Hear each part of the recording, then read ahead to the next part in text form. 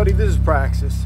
One of the difficult things about working with concrete while you're also trying to make videos is that, at least for me, whenever I mix up a batch of concrete, I'm always feeling like I'm behind the ball, like I want to get that stuff up and uh, set in place before it starts setting up and curing itself. So consequently, I'll oftentimes not do videos, but I did do a lot of work yesterday, even though I didn't do a video. I want to kind of catch you guys up, and in particular is one thing I'm super excited about.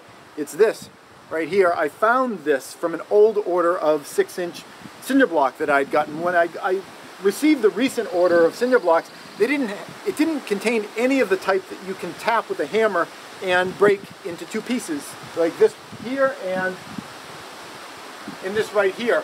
Uh, I was able to get these guys in place yesterday because I found uh, these bricks in an old order. Now, it, if I hadn't found these, I was just going to kind of build this out with like a little wooden frame and then I'd pour it with concrete and I could have done it that way. But it makes it a lot easier. I mean, that's the whole reason I'm working with cinder blocks is because, you know, you don't have to build all the frames and everything.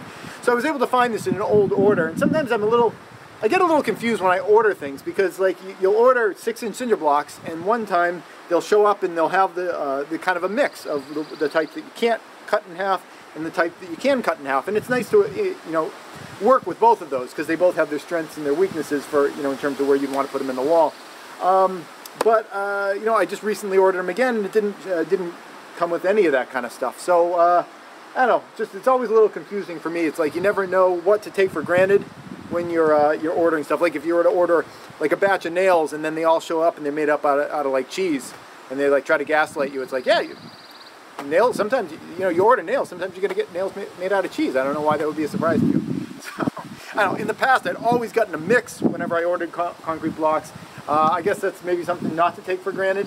Uh, but anyway, I was happy that I found this in one of my old orders. And uh, right now I'm about to get going. I'm going to do another layer on the top here, bring this up another stage. And I think we're going to go two more le levels up. So one more layer of brick, another layer of brick. That'll bring it to about here. I think that'll be good for that height over there. And then we're going to be all, all set. But before I get going, you always want to water everything down, get it all nice and wet.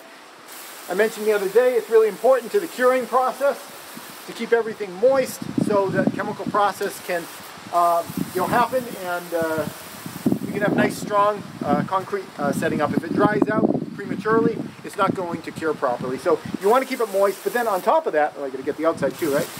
Uh, but then on top of that, uh, given that I'm going to be putting mortar up on the top of all of these things, you want this top surface definitely to be nice and moist. So when I put my new mortar down, it's not getting all its moisture sucked down into a, a dry brick. Because these things, they're really like sponges.